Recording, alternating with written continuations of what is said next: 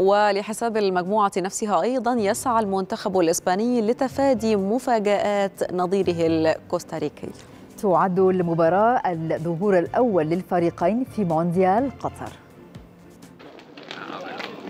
يبدأ المنتخب الإسباني مواجهاته في كأس العالم بملاقاة منتخب كوستاريكا باستاد الثمامة في الجولة الأولى للمجموعة الخامسة ويسعى منتخب إسبانيا لتحقيق فوز عريض في أولى مبارياته التي تعد أسهلها بالنظر إلى منتخب اليابان وألمانيا اللذين سيلتقي بهما في الجولتين المقبلتين.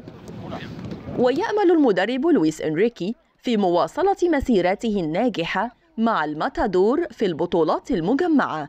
وكاد لاعبوه أن يتوجوا بلقبين في 2021 إذ خسروا نهائي يورو 2020 أمام إيطاليا وبعدها خسروا نهائي النسخة الثانية من دوري أمم أوروبا أمام فرنسا.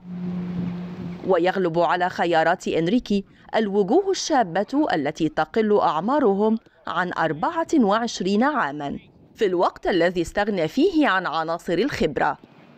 على الجانب الآخر تسعى كوستاريكا إلى الظهور بشكل جيد حيث إن أفضل إنجاز لهم هو الوصول إلى ربع نهائي مونديال البرازيل 2014 وفي باقي النسخ ودعوا المنافسات من دور المجموعات.